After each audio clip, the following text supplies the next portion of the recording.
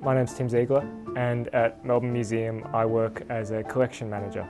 I look after the vertebrate paleontology collection. My earliest memory of a dinosaur is one of my earliest memories. It must have been from when I was about three or four years old because all I have in my head is this vivid image of an enormous pair of arms with huge curving claws on the tips bearing down on me from above. I couldn't have told you where or when or why I saw them, but that image of these huge arms stayed with me all through my life.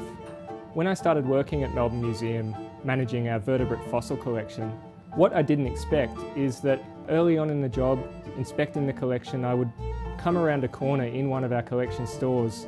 I was learning my way around the collection and I turned a corner and I saw on one of our racks this image from my memory these, these objects, these claws, which turned out to be the replica arms and hands of a gigantic two-legged dinosaur called Deinocheirus. Its name even means terrible hand.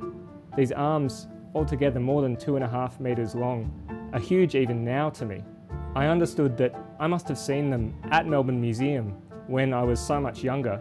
Now, as the collection manager, I get to look after and make safe these objects that formed one of my earliest memories of dinosaurs and one of my earliest memories altogether.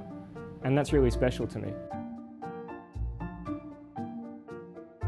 Museums are special because for our younger visitors, this is the place where they get to have their first encounter with wonder and awe. And for so many kids, that comes in the form of seeing dinosaurs for the first time.